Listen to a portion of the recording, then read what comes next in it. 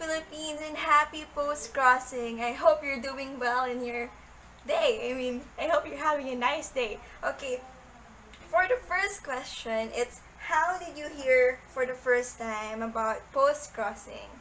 Well, I actually heard about post-crossing from my sister. She was the one who influenced me to become a post-crosser because she is an avid post-crosser since 2013 and I can see how happy she was whenever she receives postcards and whenever she writes postcards and send it around the world. So that's why I got influenced by her. And I actually uh, started post-crossing this year and I'm so happy that I did it. So you should also try doing post-crossing if you're watching this, okay? And then question number two is, your first postcard received was this one. Ta-da! Can you see it? It's a pink floral postcard and it's from USA.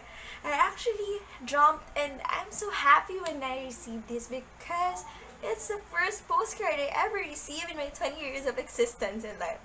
Really, that's true. Okay, so this was the first postcard I received. It's pink, my favorite color. Ta-da! And it even has an ice cream sticker. Can you see that? Yeah. Cool. Okay, we move on to the next question. It says, show and tell us about your favorite postcard received. This one. Ta-da! It looks like a painting and it came from Russia. There's a girl with the flower. The reason why I really love this and this is my favorite among all the postcard I received so far is because it looks like it's telling me a story. Telling me a story about a girl who is waiting for her special someone and she's patiently waiting. And it's like it's telling me that you just gotta wait and not hurry in finding your special someone. Yeah, something like that. But aside from that, it just it just really looks really amazing. I love it. So this one is from Russia. Yeah, there you have it. My favorite postcard. Okay, next one is what is your favorite part of the post-crossing process?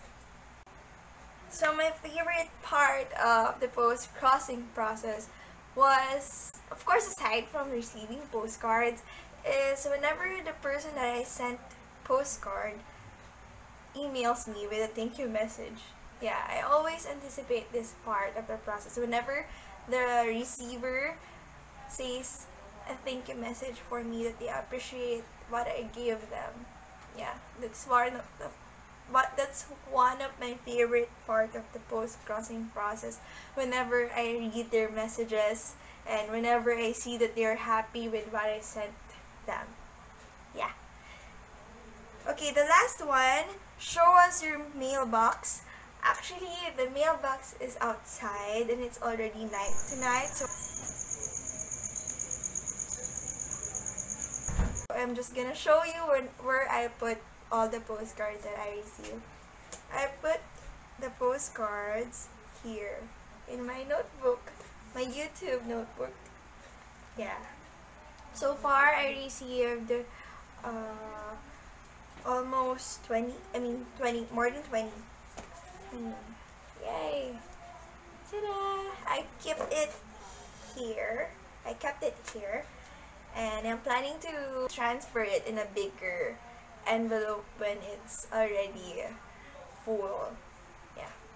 So that's it.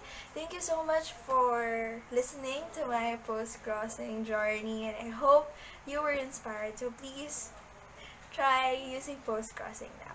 Thank you. Bye.